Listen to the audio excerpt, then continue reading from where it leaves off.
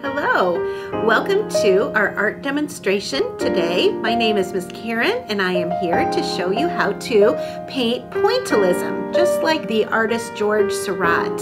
He used tiny little dots really close together in his paintings in order to create the color and the paintings that he did. So we're going to use George as an inspiration today to create a pointillism piece of art on her own. So let me show you my sample.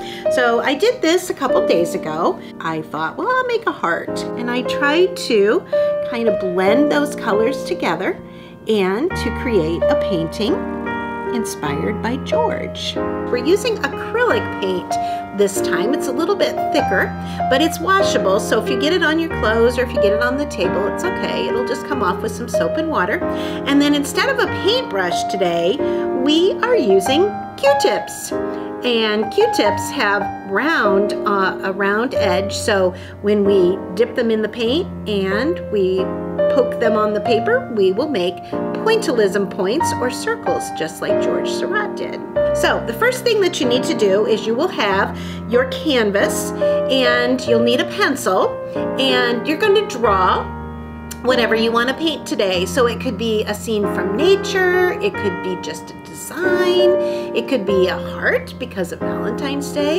You can be creative and put anything on that paper or that canvas that you would like to create. So I felt like I wanted to do flowers today. So I took the time uh, to draw my flowers on my canvas and then that gives me a guide for where my paint is going to go. So here we go. I think I'll start with yellow.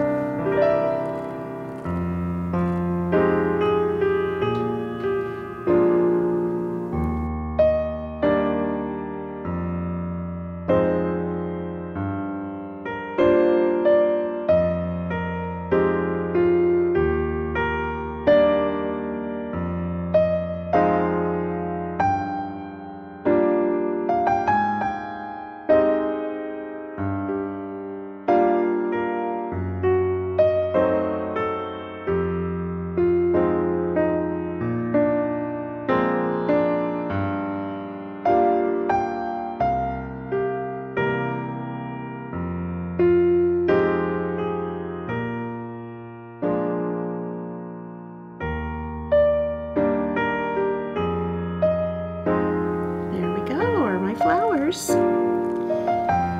Now, if I wanted to, I could go and paint all of the background around those flowers, but I kind of like it like this with the white background. It's nice and bright. So I think I'm gonna let this dry and then I will need to put my name in the corner because I created this piece of art. Now I have to decide where do I want to put this?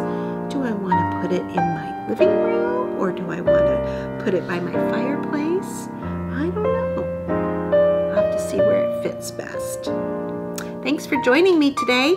I had lots of fun doing this painting and I hope you will too. See you soon. Bye.